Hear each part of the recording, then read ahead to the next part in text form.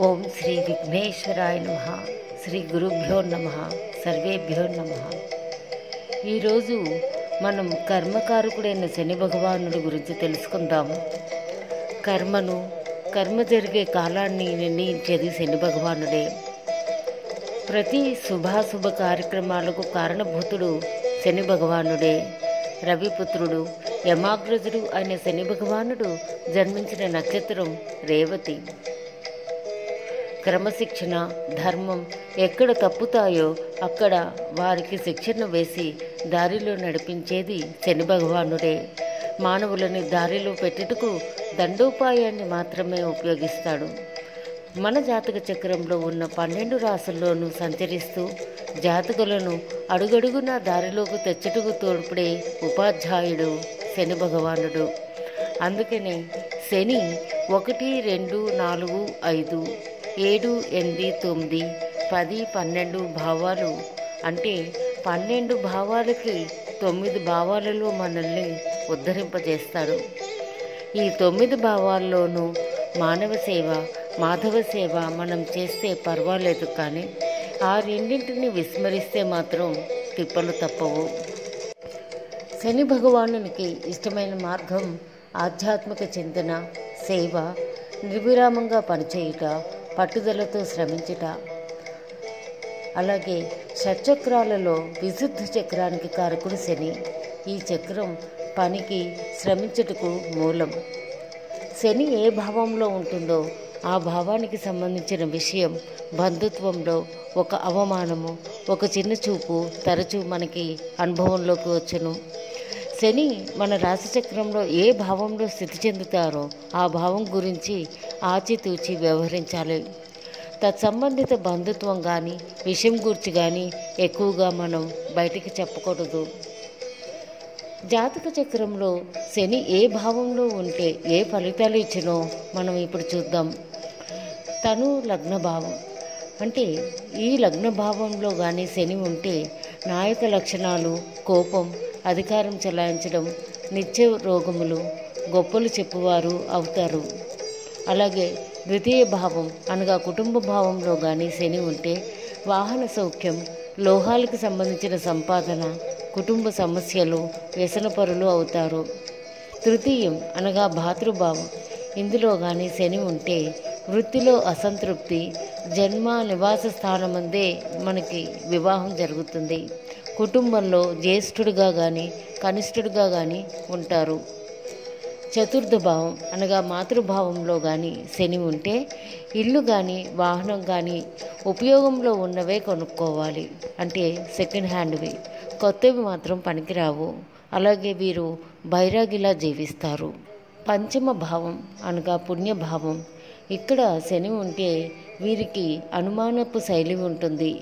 ఎవరిని కూడా సులభంగా మెచ్చుకోరు. అలాగే ఆధ్యాత్మికత కూడా ఉంటుంది. షష్టమ భావం అనగా శత్రు కానీ రుణాభావం వీరికి శత్రువులు ఉంటారు కానీ విజయం కూడా ఉంటుంది. అలాగే వీరు నిత్య రోగి పనుల్లో ఆలస్యం ఉంటుంది అప్పులు కూడా చేస్తూ ఉంటారు. అలాగే సప్తమ భావం అనగా కళత్ర భావం. ఇక్కడ శని ఉంటే కళత్రంతో విభేదాలు ఉంటాయి. అలాగే వివాహంలో ఆలస్యం. అయితే ఆర్థికంగా కానీ లేదా వయసురీత్యా కానీ ఈ కళత్రంతో ఎక్కువ తేడా ఉంటుంది.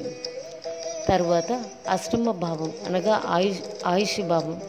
ఇక్కడ కానీ శని ఉంటే ఆధ్యాత్మిక చింతన ఉంటుంది. అలాగే దీర్ఘాయుష్మంతులు అవుతారు. పరిశోధనలు బాగా చేస్తారు. తరువాత నవమ భావం అంటే పితృ భాగ్యభావం ఇక్కడ కానీ శని ఉంటే అధికారం పొందుతారు. అలాగే ముప్పై రెండు సంవత్సరముల తర్వాత జీవితంలో ఉన్నత స్థాయి పొందుతారు.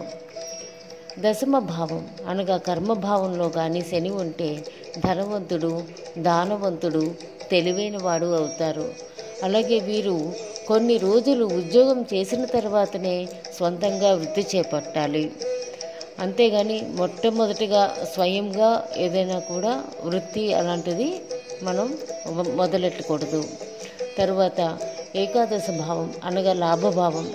ఇక్కడ కానీ శని ఉంటే వీరికి వాక్చాతుర్యం ఉంటుంది.